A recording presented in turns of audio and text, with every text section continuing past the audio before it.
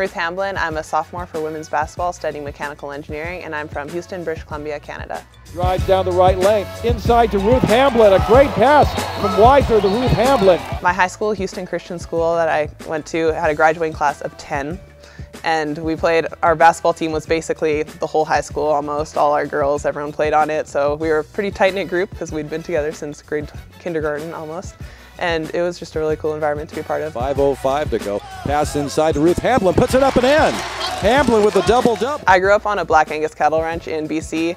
Growing up, I learned a lot of hard work and you had to wake up at unruly hours and put in the hours and then go to bed at night and you're super tired. So a lot of that has really helped me transfer into university, just the hard work you have to put in and that you put the effort and you get the results, you reap what you sow. So that's really helped. A shot up off the glass and good. I'm studying mechanical engineering, which is a way that I'm hoping I can channel my creative side with my science, my love for science basically.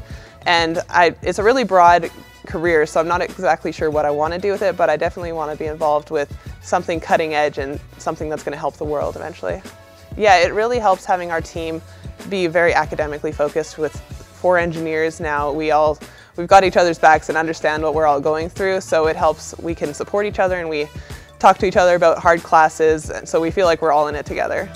The Beavers, break the press, down inside of Hamblin, off the glass and in. My favorite thing about Oregon State is just the people that make up Beaver Nation. I feel like there's such a sense of pride that just a lot of universities don't have, but just this tight-knit community that you really can break into. I'm extremely grateful for our Beaver Nation, so I have the ability to come here and receive a high-quality education while playing athletics.